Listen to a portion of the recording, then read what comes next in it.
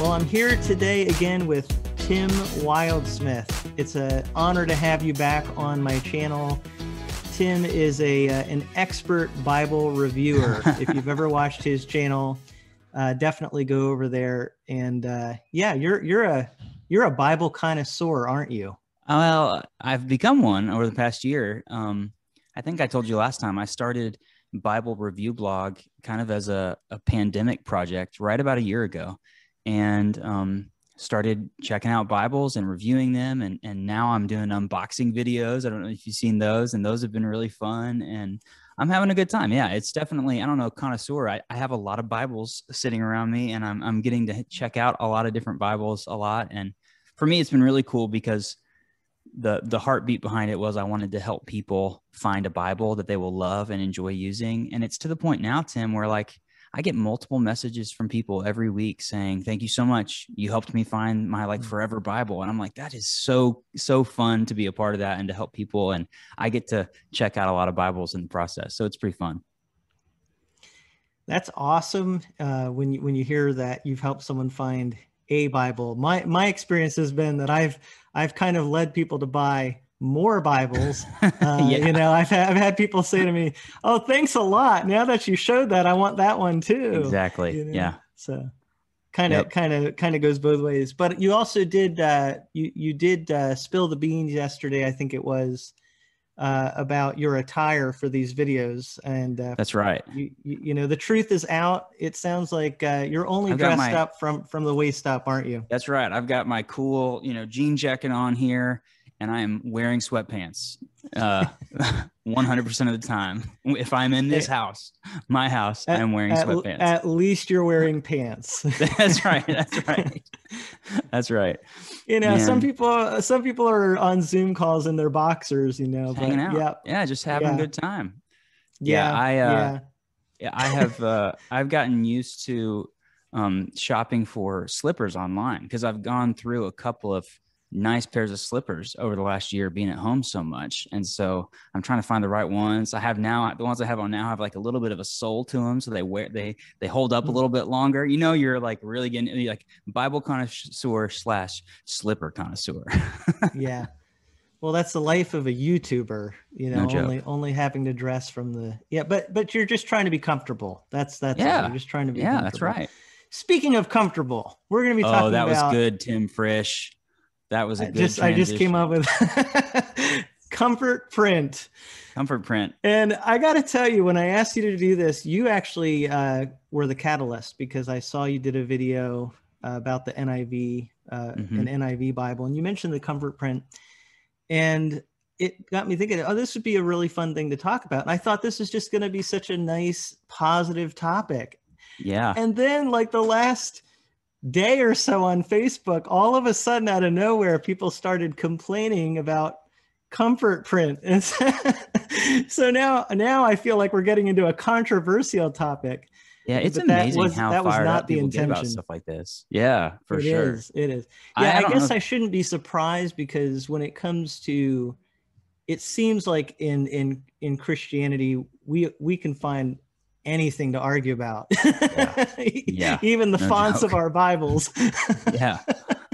I don't know if you saw I I did a review last week of the new NIV side column reference Bible and somebody on Facebook started like commenting on the, the just the post where I said, "Hey, I got a new review out." They commented like how they hated the typesetting and I don't think they know the difference between typesetting and typeface and then uh, the the guy who started 2K Denmark, which I'm not sure if the folks watching this video know that the Comfort Print fonts are this special series of fonts designed by a company called 2K Denmark. The guy who started it, who's the head of it, commented to the person on the Bible Review Blog Facebook page to clarify something.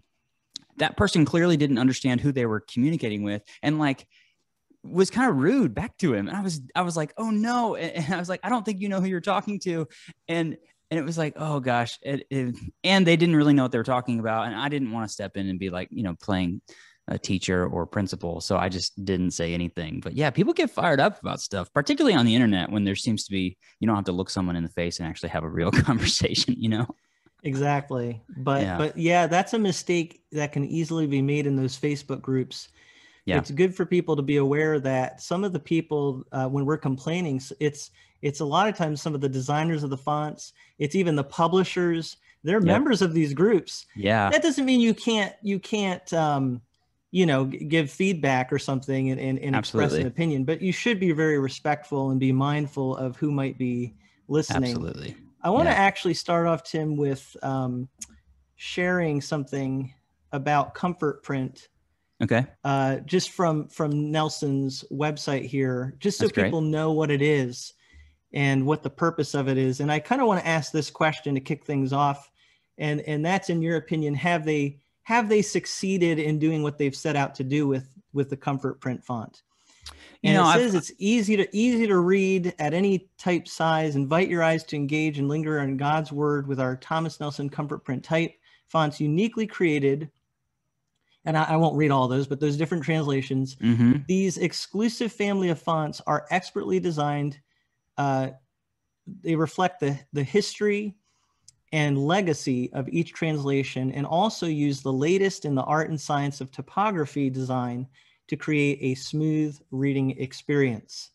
So those are the purposes of it. It actually has a, mul- a multiple purpose behind it. So do you think that uh, they've succeeded?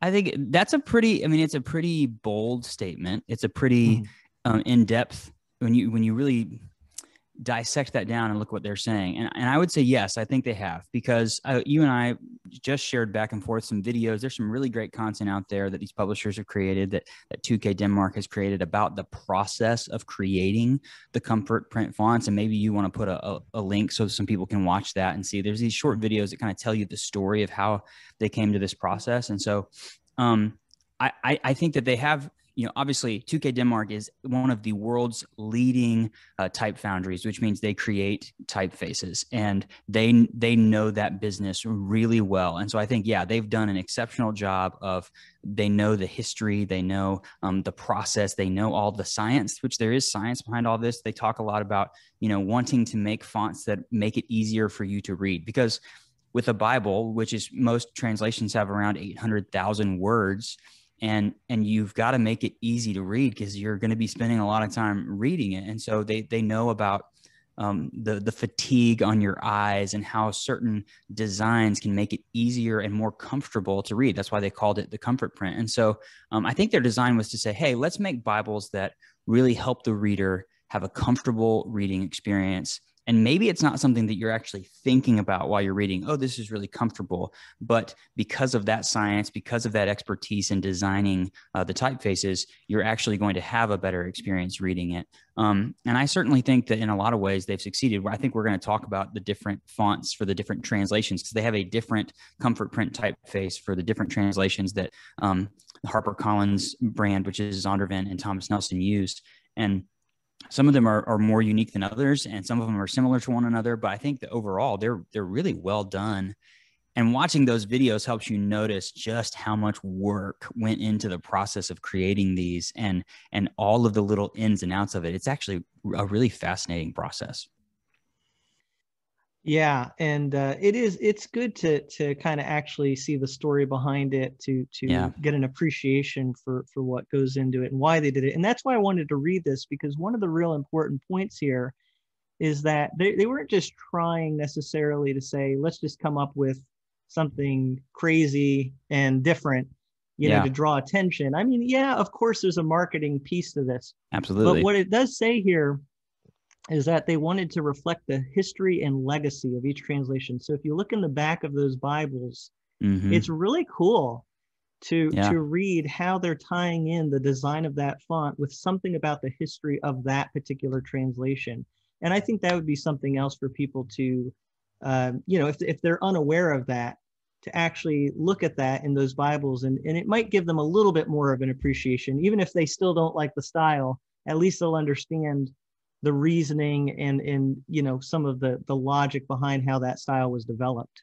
Yeah, and that's something if you go to if if your watchers know, you go to the back of a Bible from Zondervan or Thomas Nelson, and right before the maps, there's just a little note that says a note about the typeface, and they give you the story of it. And it's just it's very, like you said, very very well written, really insightful, and that's kind of a a tradition in the publishing world at large. You can find a lot of like really um, uh, famous novels and stuff like that and you go to the back or the front somewhere and there'll be a note about the typeface. That's a very traditional thing to do.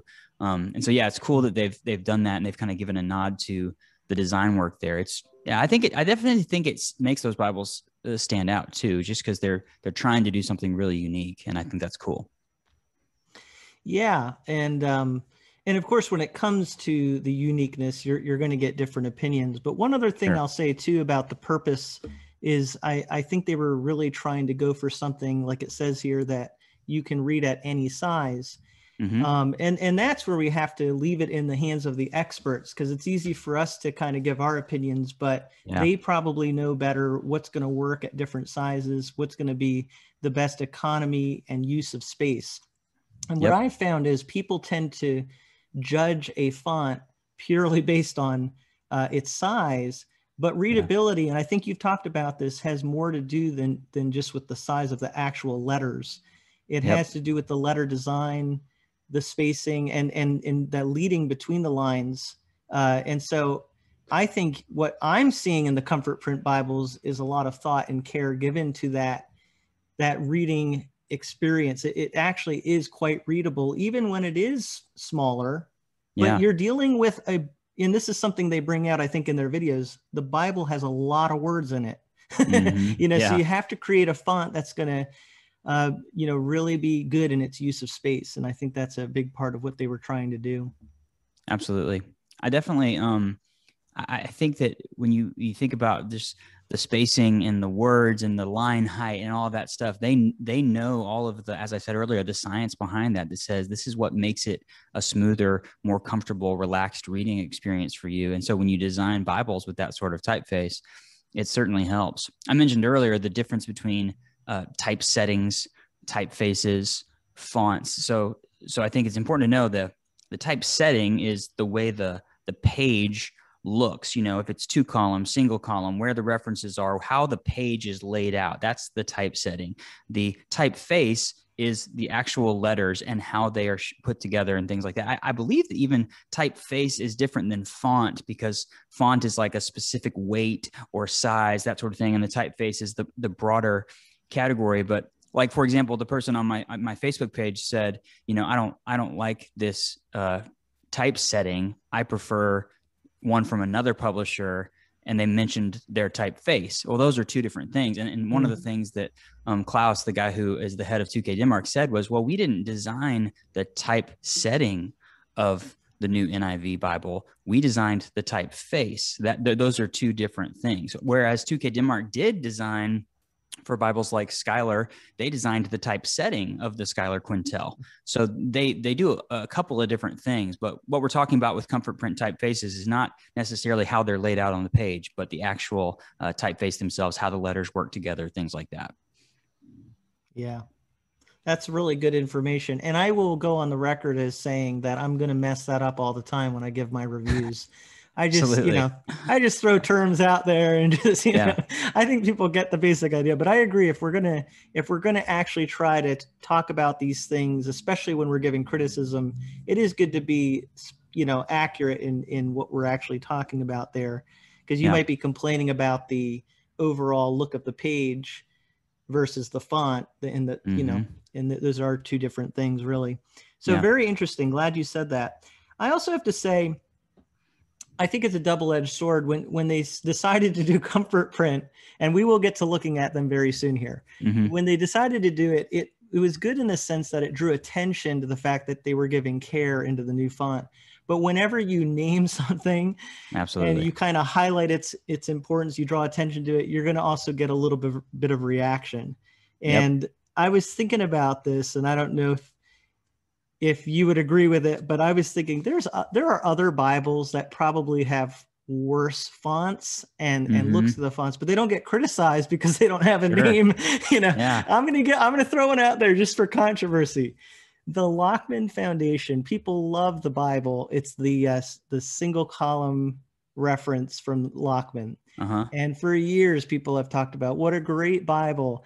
And um, I think if you actually look at that that whole design of it that writing is so scrunched and and Huh. the the font people have complained about the new, new the new NASB font being too thin, but that font also is really thin too. So I know people are going to push back on Yeah. this and totally disagree with me, but I think it's funny that people will complain about comfort print but totally ignore another Bible that you know Absolutely. they love that one, but it I would say that that uh, typeset is you know the whole design of the page is definitely uh, a lot more to complain about in my opinion.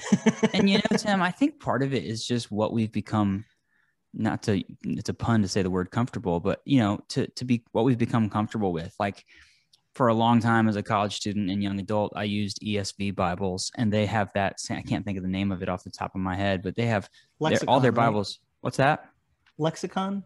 Yeah, lexicon. They use the lexicon typeface for most of their Bibles. And so I just became so familiar with it where when I grab a Bible like the Tyndale Select, which is the same thing as the the Schuyler Caxton, and they use lexicon, I, I'm immediately like, oh, I love this Bible because I'm very familiar with it.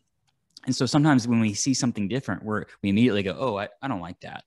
But actually, if you if you give it a chance and you spend some time with it and you allow it to become familiar to you, you probably will settle in and start to like it more. Yeah, and I'm glad you brought up the ESV because I think that they were they were a, publisher that kind of really was trend setting a lot. And Oh, yeah. uh, and I actually had someone somewhat recently tell me they don't like the font of the ESV because it it looks too uh, uh, antique. I think what might have been the word they used, which is Hmm. Interesting. interesting. I've always Yeah. loved the the the ESV font. I think it looks Yeah. it looks I really think it's kind of a clean, not modern, but a very clean classic font is what it looks like to me. yeah, and I think lexicon is. I don't think lexicon. I I could be wrong about this. I don't think lexicon is just the ESV Bible. I think it's been around a long time. hmm Yeah, and I I think too that uh, fonts are are meant to be reflective of of the style of the translation. The ESV Absolutely, is more of yeah. a formal translation, and the Sure, lexicon yeah. just has that classic look, like you said. I'll tell you another font I'm going to complain about, but it's not being used now. Was actually the Holman Christian Standard Bible for a while. Uh-huh.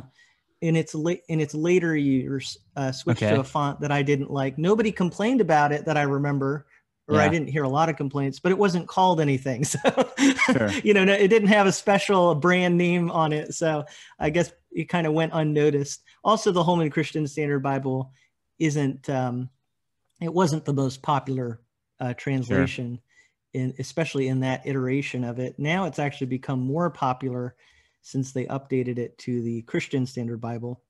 It's really So- interesting. I I mean, the more I think about what you said a couple minutes ago, like I wonder if people would talk. I don't. You're. They. They wouldn't. I don't think people would talk about comfort print and complain about it or gripe about it nearly as much if if Thomas Nelson and Zondervan had just put the fonts out there and never said anything about it. You know, like the fact that they they say on every single piece, this is a NIV comfort print, NKJV comfort print. I think that that makes people recognize and they are they're trying to they're they're using it to sell bibles to say we've we've gone the extra mile to do this which is great.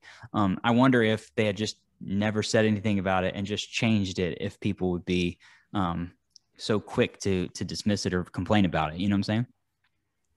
Yeah, and uh, it's it just made me think about uh, the the first printings. You know, Gutenberg I think had the anniversary. I, I saw that on Google. It was like the anniversary of the Gutenberg press. Maybe I wonder if people complained about fonts back then.